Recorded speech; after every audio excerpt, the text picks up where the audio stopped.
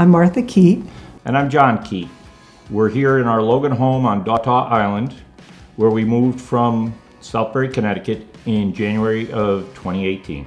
We had no plans on building a home until we learned about Logan Homes and their ability to personalize each home for us. The biggest personalization they did for me was flipping the floor plan so that I could have the bonus room over the garage look out on the river and still have the screen porch looking down the golf course. My dining room was very important to me, and the ability to personalize the space to accommodate my furniture has made all the difference in the world. One of the things that made me nervous about building a home from 900 miles away was not being able to be there every day.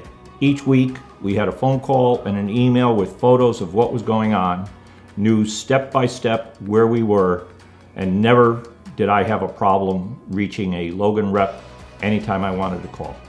One of the things that's been surprising living here on Dataw Island is that it's very easy to make friends. We came from New England where it's not that easy, and we were surprised when people would knock on the door. There are so many different kinds of activities to enjoy.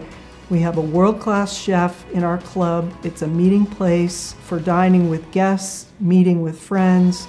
We enjoy it every week. The community center also is very important to me. It's where we can go to exercise. There's a all-purpose room that we use for arts and crafts.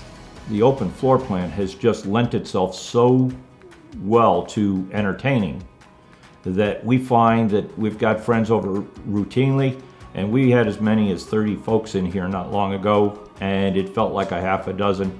Everything just flowed perfectly all the way around the home. We found that the standard packages were so good that we only had to upgrade in a couple of areas, and still we got everything that we wanted.